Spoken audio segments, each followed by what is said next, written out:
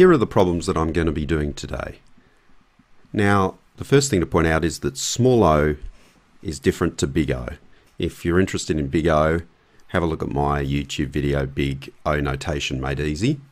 And it might actually be useful to have a look at that anyway, even if you're only interested in small o.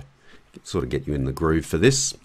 So to our first problem, and we want to prove what we've got there. And let's think of this, the left-hand side, the 2 end of the ninth plus 1 is fn, and the end of the 10th is gn, then we can go to the definition. And we say that fn equals small o of gn if the limit as n goes to infinity of fn divided by gn equals 0.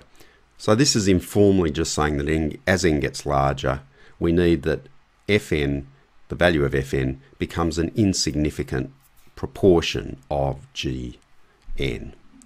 So this gives us now the way to prove it. We just create the limit as n goes to infinity take the 2n to the ninth plus 1 and put in the numerator.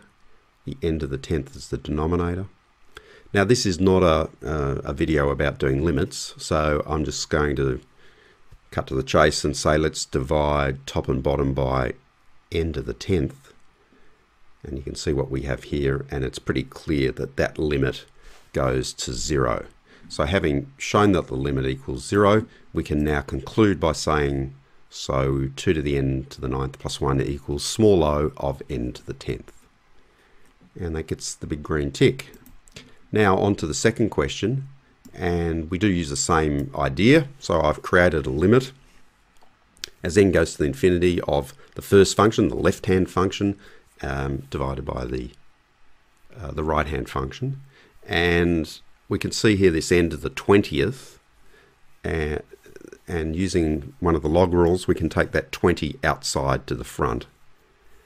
And once we do that, uh, once again let's just divide top and bottom by the highest power which is n squared. And I suppose here you do need to recognize that n times log n divided by n squared will go to zero. And once, if you know that, um, well then it's pretty obvious that the limit goes to zero, as I've shown here if you don't know that n log n divided by n squared uh, approaches zero, then you probably need to have a look at a video on limits and get that under control. But anyway, we've shown that the limit equals zero, and so now we can conclude that 12n log n to the 20th base 2 plus 1570n equals small o of n squared. And that should give you full marks. And that's it for Small O notation made easy. I hope you found it useful.